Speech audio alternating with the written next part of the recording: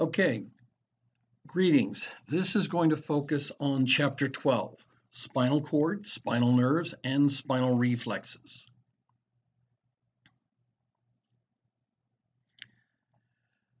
Now, when we talk about the spinal cord, this is part of the CNS.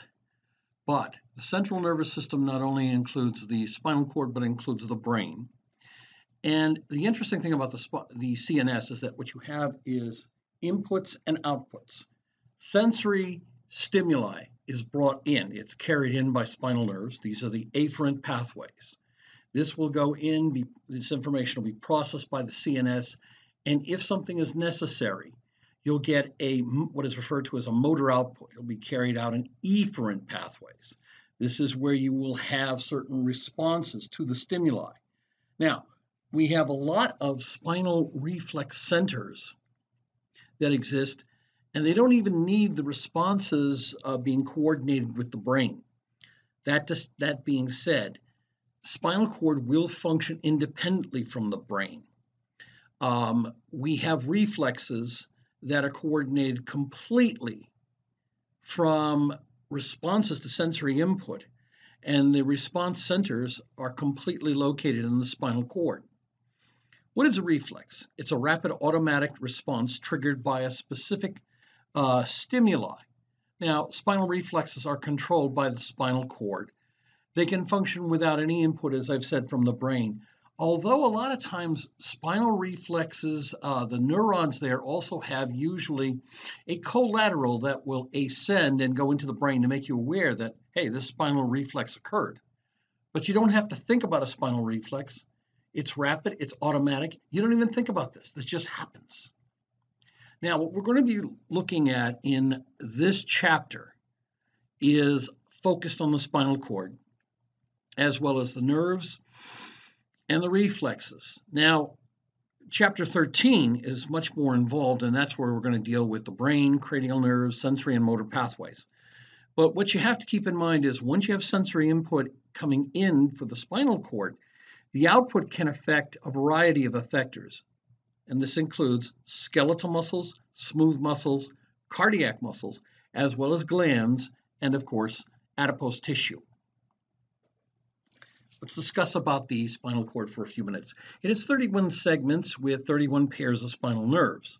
Uh, the spinal nerves are, in, are basically bundles of axons on the peripheral nervous system uh, that are connected to the spinal cord. So basically, the cell body in a lot of cases is located back in the spinal cord itself, but it has these very long axons that stretch out until you get to a particular target organ, or they will synapse with an intermediate uh, neuron, which will then itself be connected to the outside organ, the muscle, whatever.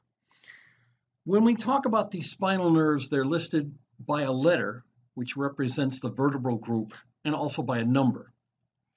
Uh, the spinal nerve is identified by its association with adjacent vertebrae. So uh, cervical spinal uh, nerves are associated with the spinal, uh, excuse me, the cervical spinal vertebrae. Now, an interesting thing is that we have C1 through 8. Well, wait a minute, I thought we had only seven cervical vertebrae. Yeah, you do. C1 passes between the skull and the first cervical vertebrae.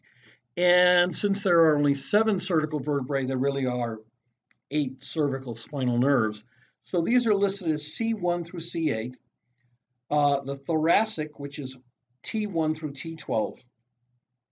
The lumbar, which is L1 through L5.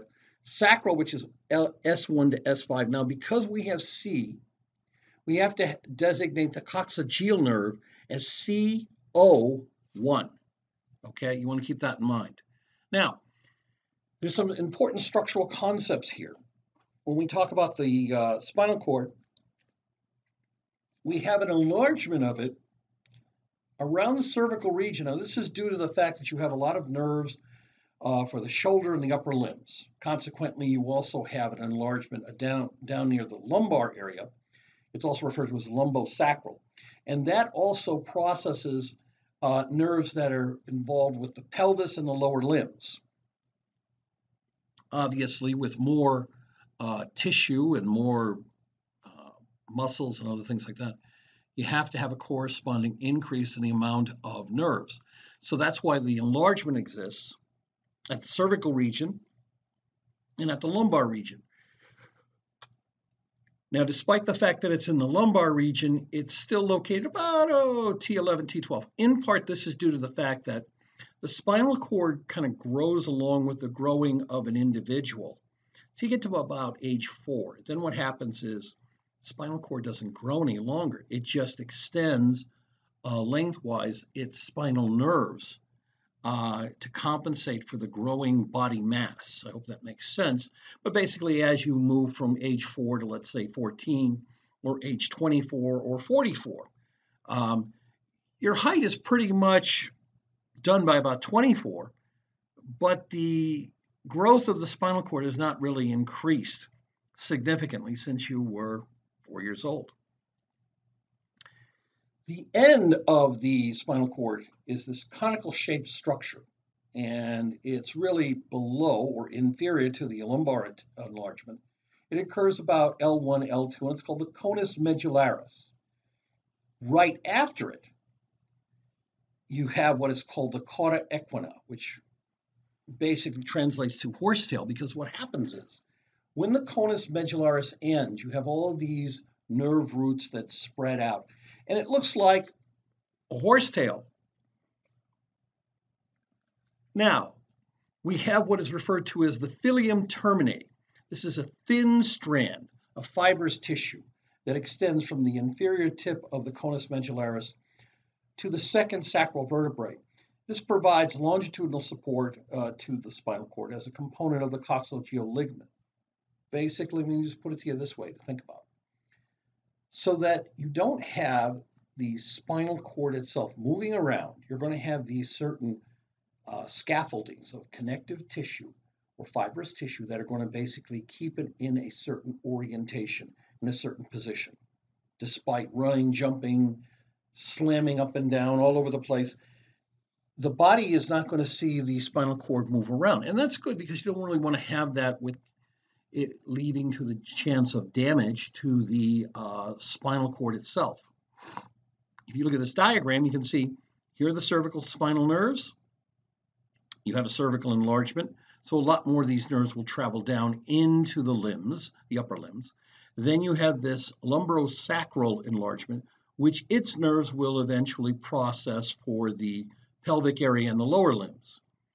And also, if you notice here, you have the cauda equina, and this is after the conus medullaris, that cone-shaped structure. But in between all of this, you've got this unique fibrous tissue called the filum terminale that's going to keep everything nice and secure. So it's not going to bounce up, bounce down, etc. As for lateral movement, we're going to talk about uh, the dentulate ligaments in a little bit. But you can notice as we move from the cervical spinal nerves to the thoracic spinal nerves, to the lumbar spinal nerves, sacral down here, and eventually the coccygeal nerve. Okay. Now, I said the spinal cord is divided into 31 segments. We've talked about this. If you look and cut the spinal cord um, in a transverse cut, what you're going to find is the presence of gray matter and white matter. Now, gray matter is really unmyelinated axons, cell bodies, and neuroglia kind of forms sort of an H shape. White matter is heavily myelinated axons. These are outside. Now, this is what I mean by it's a reverse of the brain. In the brain, if you look at the brain from the outside, it's going to have mostly gray matter. That's going to be, again, unmyelinated axons, cell bodies, neuroglia. When you slice through the brain, you will notice that inside of it, in the uh, cerebrum, for example, you're going to find a lot of white matter there. That's going to be myelinated axons. But this happens to be reverse when you get into the spinal cord. Spinal cord, gray matter is on the inside, white matter is on the outside. Now, there's some spinal cord structures that you need to be aware of. The posterior medial sulcus, this is a shallow longitudinal groove on the posterior, that's the dorsal surface of the spinal cord. Also, you'll notice that there's a posterior, posterior root. This contains axons of neurons whose cell bodies are in the posterior root ganglion. The posterior root ganglion, well, look at this is bringing in, this is in the afferent pathways. with the A, meaning that it will take in sensory information. Sensory neurons carry sensory information. And so what you have is this root ganglion, and uh, that has all the cell bodies. Axons can be very, very long. And in this case, this is what you see. The axons carry information into the spinal cord. Now, the spinal nerves will contain axons of both sensory and motor neurons. So any spinal nerve we talk about has both. It's referred to as mixed nerve, meaning that it contains both sensory and motor neurons. Now, of course, spinal nerves pass through the intervertebral foramen. And then the other structure you need to be mindful of is the anterior root, which contains axons of the motor neurons that extend into the periphery to control somatic and visceral effectors. What?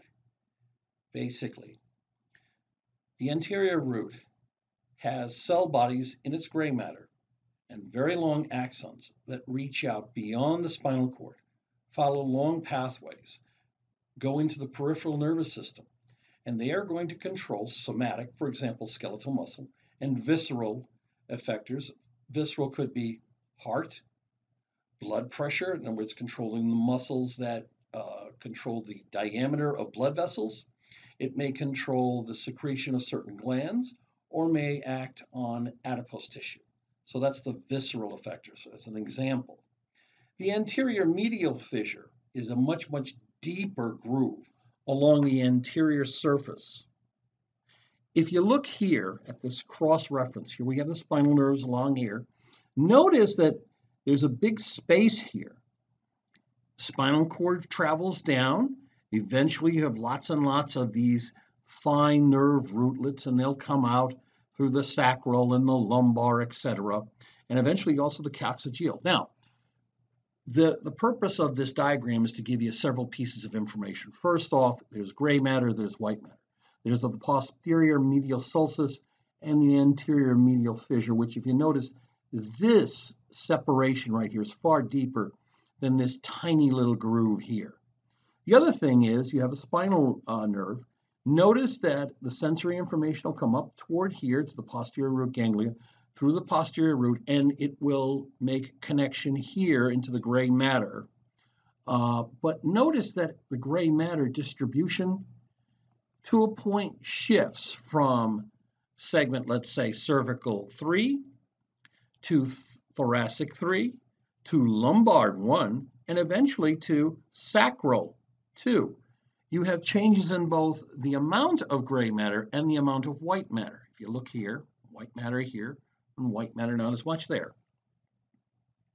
White matter is going to be the myelinated fibers. They're going to be having what we call ascending and descending pathways. Okay? But keep in mind some of the basics here. Also the central canal. Now, why was there such space around the spinal cord? Well, we're going to talk about this. We have to have some padding, some protection we have what are referred to as spinal meninges. Now, meninges are really specialized membranes. They surround and protect uh, not only the spinal cord, but the brain. We're going to talk about pia mater, arachnoid mater, and dura mater. You're going to find this uh, mentioned again in chapter 13 when we talk about the brain. But let's talk about pia mater for the spinal cord only right now. It's a meshwork of elastic, elastic, and collagen fibers. They're all tightly bound right to the neural tissue. Pia is like mother meaning it's just wrapped really, really tight and protective. The next layer up is called the arachnoid mater. Now that's a middle meningeal layer. It just has simple squamous epithelium and a subarachnoid space. The subarachnoid space, this is a space beneath the arachnoid mater, and it has little fine filaments that attach to the pia mater, but in that space is filled with cerebrospinal fluid. That helps in protection for the spinal cord. Dura mater, this is a tough outermost meninges. It's the outside and it's really, really tough, contains dense collagen fibers that along a longitudinal axis. There is a space between the dura mater and the arachnoid mater. It's called the subdural space.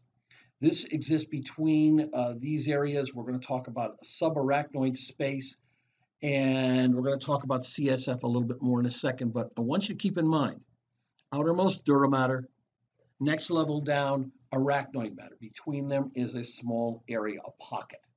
Now, between the arachnoid mater and the pia mater is another. It's called subarachnoid, so below the arachnoid. And this contains uh, the arachnoid trabeculae, which I talked about. And then we have these spaces that are filled with cerebral spinal fluid, which acts as a shock absorber.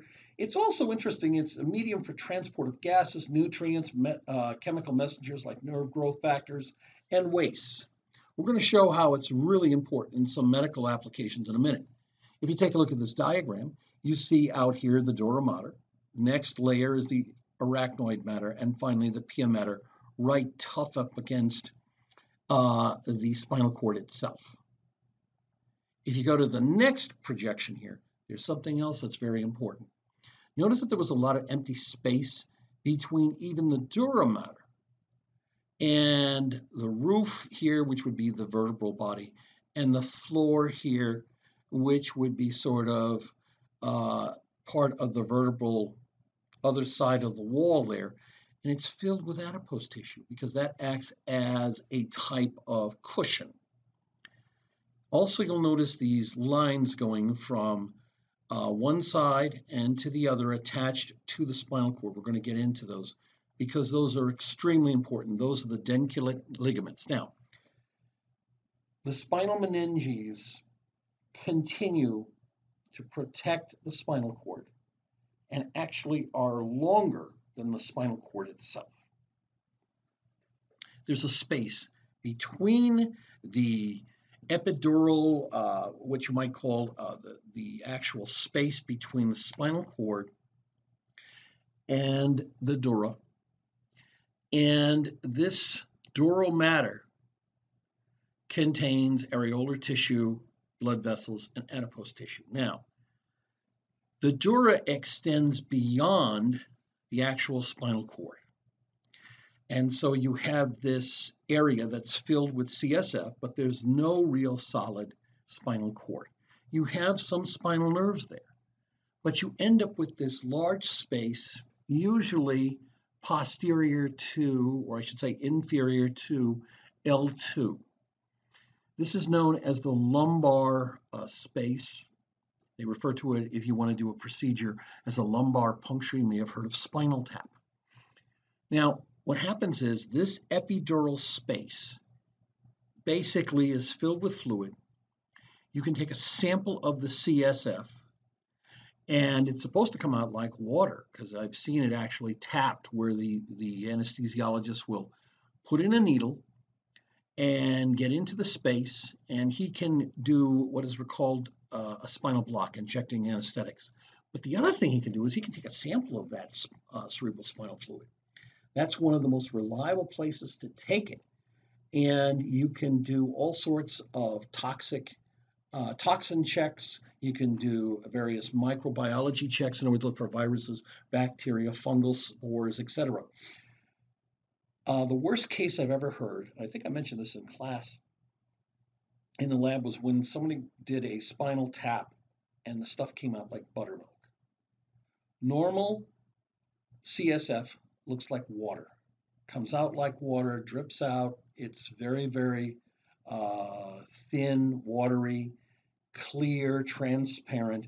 So if you've got it coming out like buttermilk, you've got a massive amount of bacteria in there. Okay. Now, if you want to, and it happens in some cases, uh, someone will complain that they get a massive headache when they have a spinal tap done. What doctors will do to attempt to seal the leakage as well as reestablish the pressure is take some of the patient's blood and actually inject it into the CSF. This replaces uh, the volume and the, the, pressure that was reduced when they did the initial tap. Um, it's very common to see a spinal block, uh, they may call it epidermal, uh, for women that are having um, a delivery of a child. Okay? So, one more thing dentulate ligaments. Let me get back to that. This basically prevents lateral, side to side movement of the spinal cord. It consists of extensions of the pia mater. Here are the dentulate ligaments here, here, here, here. They're all on the side, sort of like side attachments. And what they did was they pulled and cut away the vertebral roof, the bone itself. And so you can clearly see uh, dura mater here, which is cut and reflected, um, the arachnoid mater, which is cut and reflected. And what you have are the interior roots, which basically go into rootlets, which basically attach and have their pathways into the spinal cord itself. Pia mater, you can see that layered out here. And so it gives kind of a glistening look.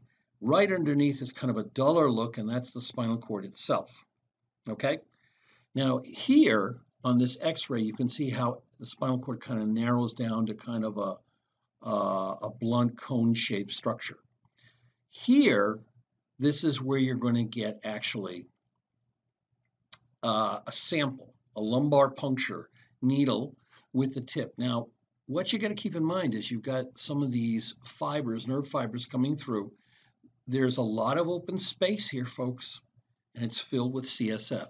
So you can basically put in anesthetics, which would create no pain below the point of injection, or you can take a sample of the CSF here. And this is the lowest risk of causing any nerve damage. You can't do it up the cervical region. You can't do it the thoracic.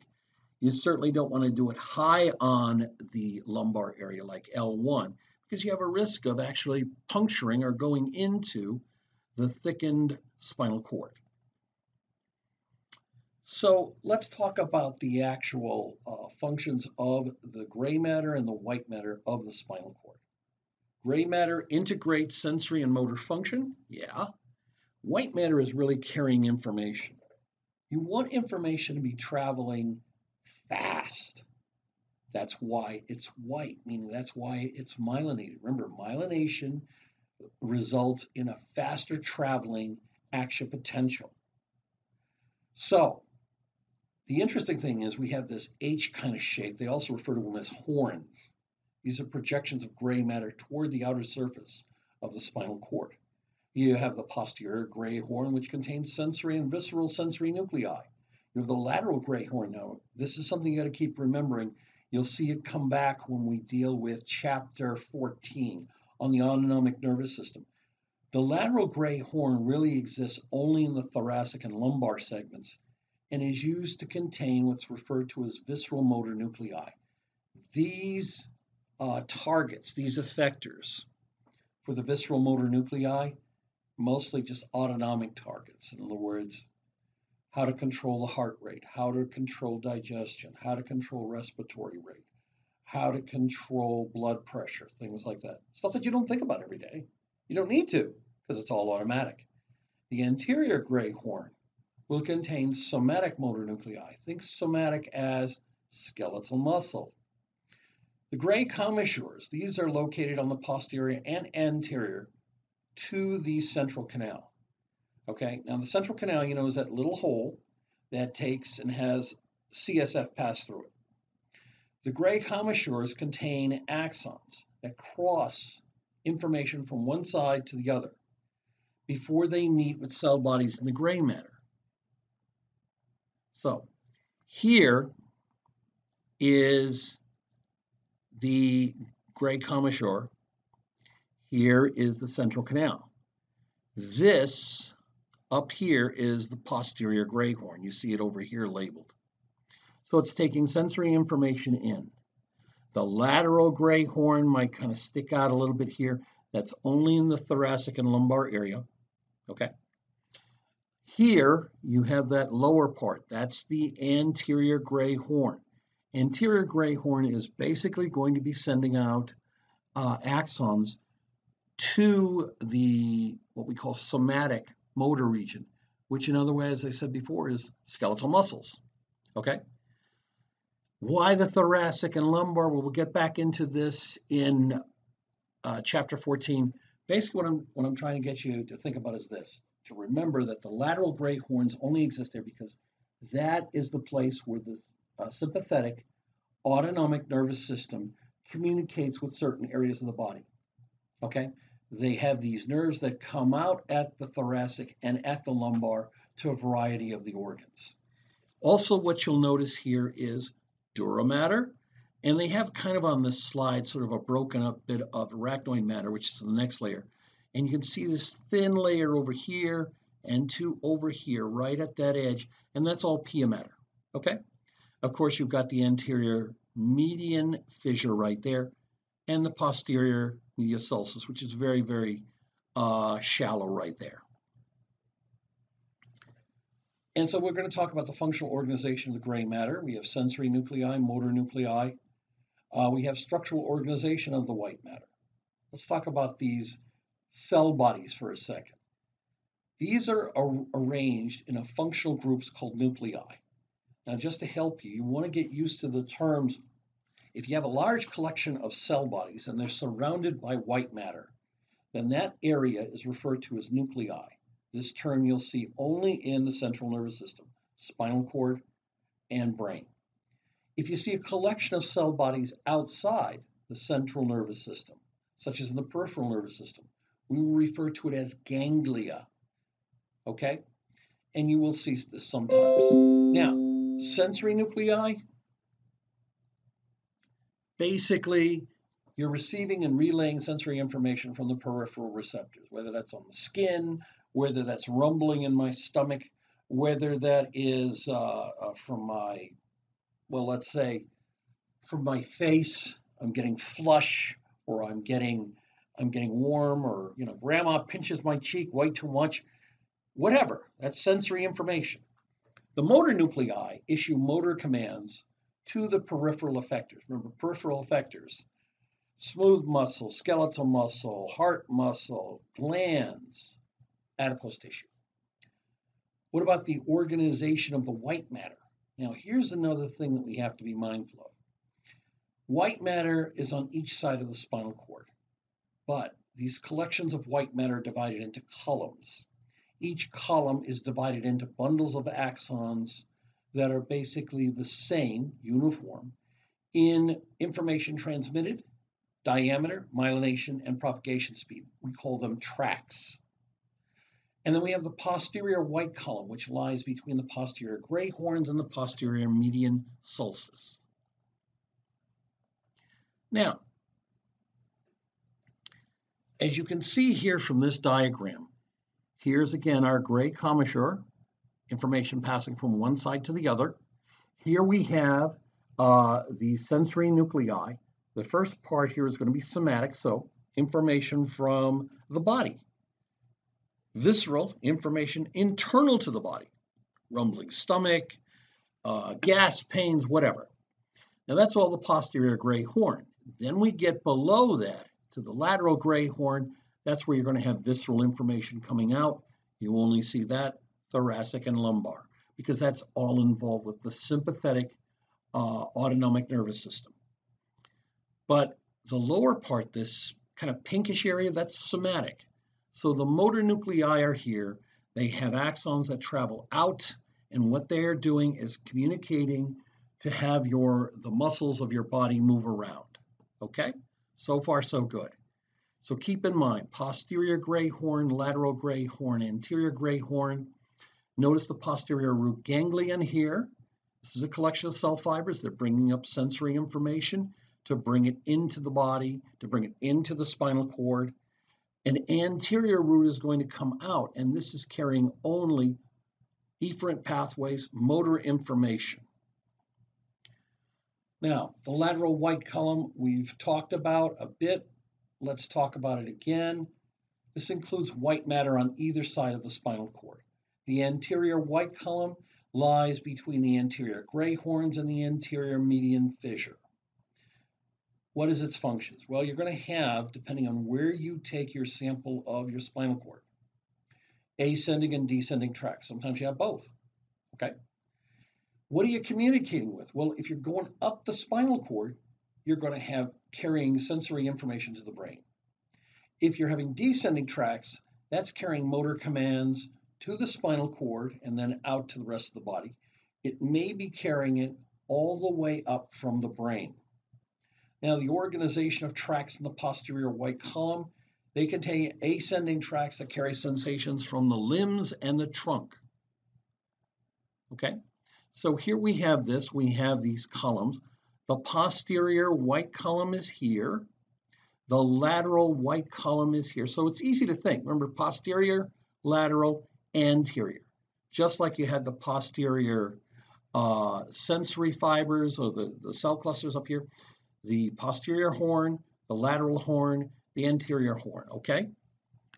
Keep in mind, notice this, the organization of the tracts of the posterior white column. Leg, hip, trunk, arm. So they kind of spread outward. Obviously, these pathways are going to go right back up into the brain. They're going to provide for you sensory information. Oops, I stepped on a tack. Oops, uh, I've got an itch on my hip. Oh, I burned myself when I when I went out and suntanned myself, and now my trunk of my body is all red and blistered and all that terrible stuff. Or on my arm there was a bug, it was a mosquito, and it's and it bit me, and it itches. Now here, the motor nuclei. So you've got trunk, shoulder, arm, forearm, and hand. All of this is going to control the muscles.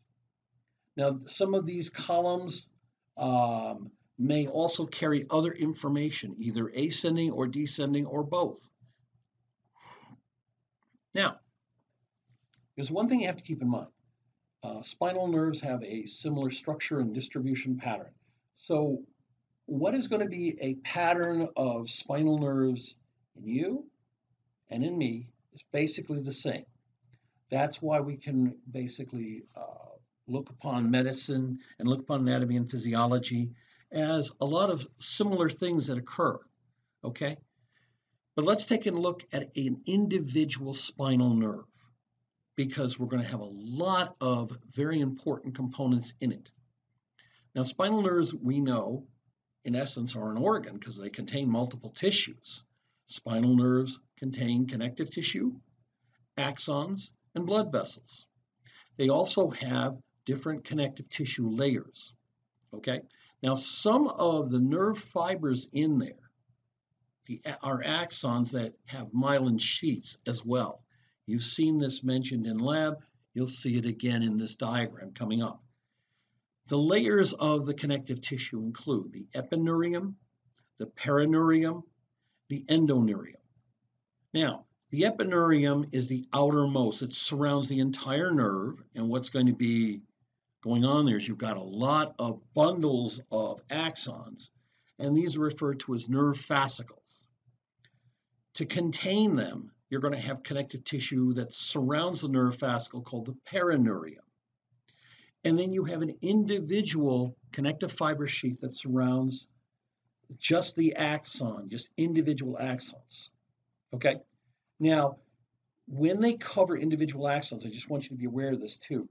You can see sometimes the axon inside, sometimes there's a space which suggests that there was um, a space between the axon itself and the endoneurium. That may indicate that there was myelination for that particular axon. When we have branching in nerves, we refer to them as rami or ramus. Okay? So here we have this uh, connective tissue layers. The outermost layer is epineurium. It basically contains everything inside. We have nerve fascicles. To contain them, we have perineurium. Notice that in this entire nerve structure, we've got veins, arteries, etc. And then we have an individual nerve fiber that's part of this fascicle, and it's covered by endoneurium. Now, the endoneurium is outside of whatever, if it's a myelinated axon, it's going to basically have the Schwann cells, and then you'll have the layer of endoneurium. I bring this up because it's very important how things are arranged. Okay, so epi, peri, endo. When I talk about rami, I said it was a branch of a nerve. Well, there are various branches that come off once you leave the spinal cord. The dorsal primary ramus supplies the deep back muscles and skin on the dorsal surface of the trunk. That's why we call it the dorsal primary ramus. The ventral primary ramus supplies uh, nerves to structures on the limbs, skin along the lateral and ventral surfaces of the trunk, and skeletal muscles, except for the deep back muscles. Remember all those deep back muscles? You got to go back over them. And then we have another unique structure that's found called the rami communicantes. This is present in areas from T1 to L2. Hmm, there was something familiar about that before. Yeah, that has something to do with the sympathetic nervous system. Uh, we're going to be, and that's not a typo. ANS stands for autonomic nervous system. You're going to have to get used to that one too. But the rami that play a role here play a role containing axons from the sympathetic autonomic nervous system. Uh, these are going to have the spinal nerves in the thoracic and upper lumbar sections. They're going to carry motor output from the sympathetic division. The sympathetic division of the autonomic nervous system is also referred to as the fight or flight. This is involved in getting you ready in case you have to go battle or flee a predator. Okay? Now, here you can see our spinal cord. Here you see our posterior root ganglion coming in, and then the anterior root coming out. So the anterior is the efferent pathways carrying motor information.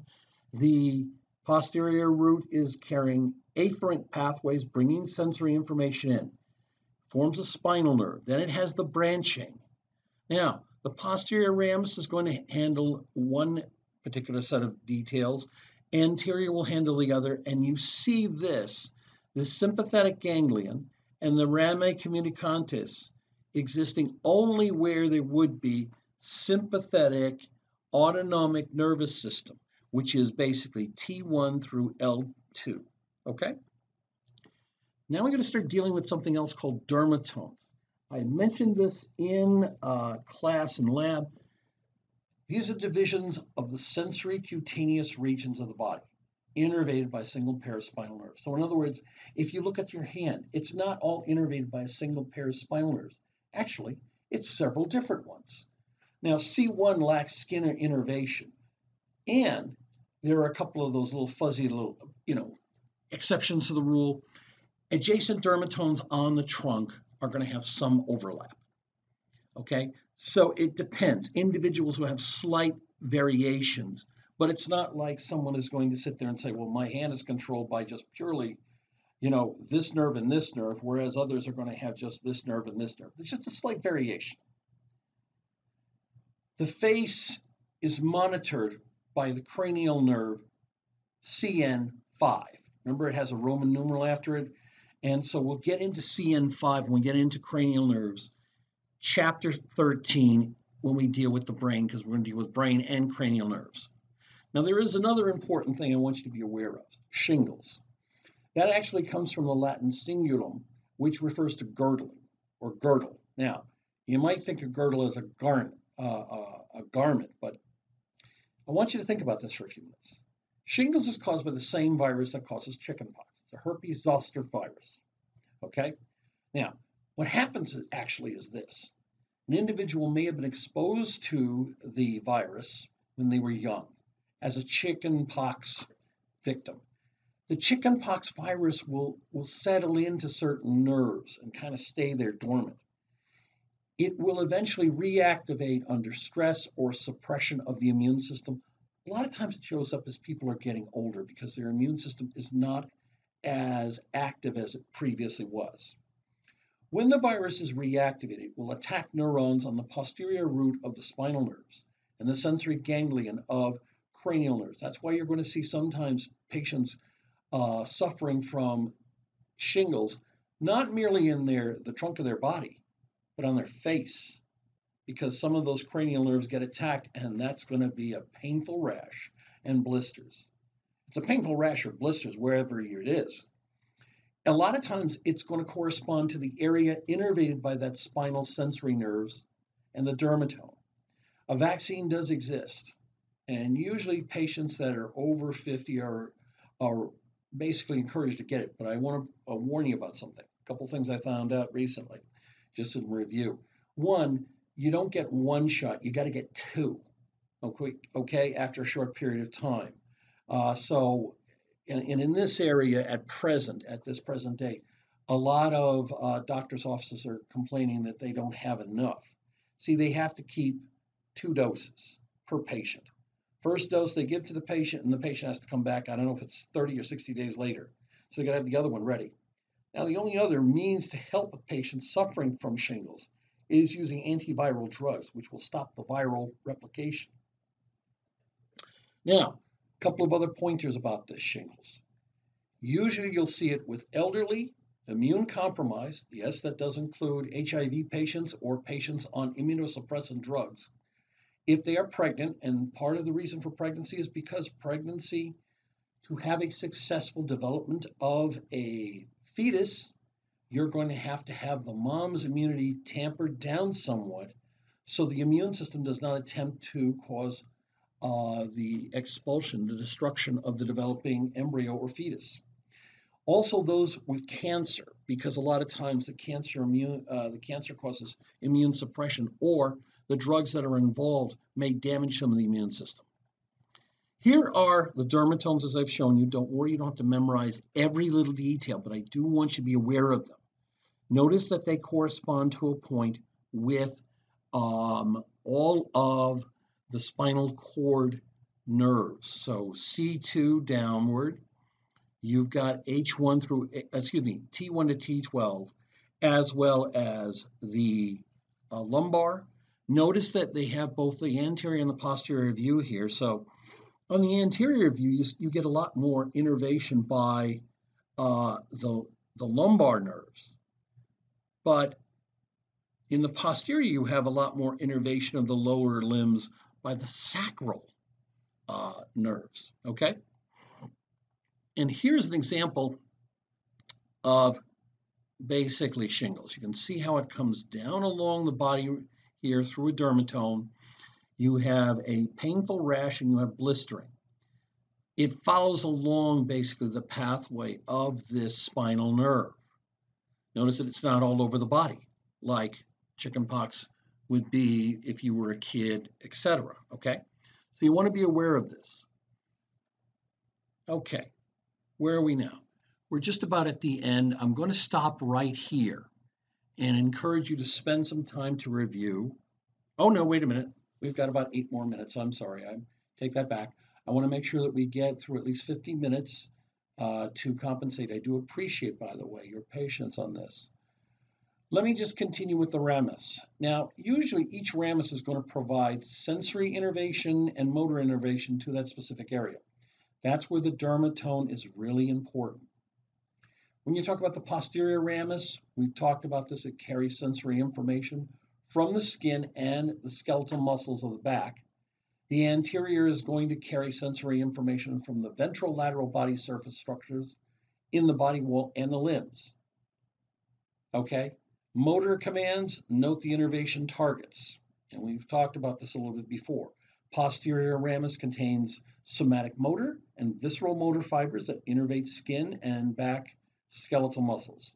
Anterior ramus supply the ventrolateral body surface. When I say ventrolateral, you're talking about the side and etc. and structures of the body wall and the limbs. Okay, they're not handling the deep muscles there. Here we have it, okay? Sensory information is going in. Basically, motor information is going out. And the motor information going out will either pass straight through here, okay? Or it will go out the posterior ramus or the anterior ramus, okay? You've got to keep in mind a couple of other things too. Now, sensory information going in can be from exteroceptors, proprioceptors in the body wall and limbs, or interoceptors of the body wall and limbs. These are different types of uh, sensory receptors that play a role in, you know, is the muscle being pulled? Is there uh, joints being tugged on? Uh, are synapses, excuse me, are ligaments being pulled on? Things like that. You have a variety of sensors that are in um, some of the connective tissue as well as the muscles and the tendons to detect certain strains, etc., as well as provide information about certain positions, etc. Okay, that's the sensory information issue. And we've talked about the white ramus communicantes. That's a short nerve branch that carries visceral motor fibers to a nearby sympathetic ganglion. Remember, it's white, and the reason why it's white, because it's myelinated. The gray ramus communicans is unmyelinated. It's postganglionic fiber. It appears grayish, and that will innervate the smooth muscle and glands. In this one, you're going to basically be providing information to autonomic nervous system. Here, you're going to provide some information to the sympathetic nervous system, the autonomic nervous system, but you may also carry, carry also some other information to uh, some skeletal muscles. Here's the motor command. So this is outgoing information. Notice that this is going to go through uh, basically either the anterior or the lateral uh, horns. If it's lateral horns, it's visceral motor nuclei that comes out, goes through the rami communicantes. Some of it will go down the sympathetic nerve. Some of it will basically synapse here, go back out, okay? Some of this information will go back out directly, as you can see from the blue, if it is somatic motor information. What I'm saying to you is to help you. If you're saying visceral motor, you're probably talking about autonomic nervous system um, wiring. If you're saying somatic motor, you're really saying skeletal muscle is the target, if that helps, okay? Now, Last area. Spinal nerves form nerve plexuses that innervate the skin and skeletal muscles. Now, when we have these plexuses, this is a complex of interwoven network fibers. Some of these spinal nerves will converge and then later on they'll diverge. Some of the convergence, you'll have the anterior rami of adjacent spinal nerves. They'll blend their fibers, producing compound nerve trunks. The anterior rami form four major plexuses. These are important, and yes, you will be, you will need to know them. The cervical plexus, which comes out between C1 and C5, that innervates the muscles of the neck and diaphragm. Brachial plexus, that's between C5 and T1. This innervates the pectoral girdle and upper limb. So just basically follow this with either your dermatome uh, map or even just a basic spinal cord uh, map. The brachial plexus goes from C5 to T1. We've talked about that. The lumbar plexus goes from T12 to L4. That innervates the pelvic girdle and lower limbs. The sacral uh, or, or sacral plexus goes from L4 to S4. That innervates the pelvic girdle and the lower limbs. Remember that the lumbar and sacral are often referred to as lumbral sacral plexus. Okay? So what are you saying? Lumbar and, and, and, and sacral? Okay, fine. So they kind of cover the lower parts. You have to have these plexus to deal with extensions beyond the axial, if you want to say axial skeleton or axi axial musculature of the body, because you've got limbs, two up, upper ones with its corresponding pectoral girdle. And then we've got the pelvic girdle and the corresponding lower limbs. Okay? And you can see this here in this diagram. You'll see where there are going to be some nerves. Now, to help you the next class we meet, I would encourage you to print out one of these charts you will need to know some of the nerves. It would probably help you if you just also just download and print out the entire PowerPoint slides for this particular area because you really need to know about a variety of these major nerves, like the radial, the ulnar, the median, because we've been talking about this for some time in one way or another. The phrenic nerve, and we're going to talk about a variety of the, the plexi and the nerves that come off these plexi because they're extremely important. And of course, the biggie, the sciatic nerve going down into the lower limbs. We'll get into this all next time. So what I would encourage all of you to do is take time to review and we'll meet on Friday. Again, thank you very much for your patience as I have a uh, department meeting. And with that, we'll close.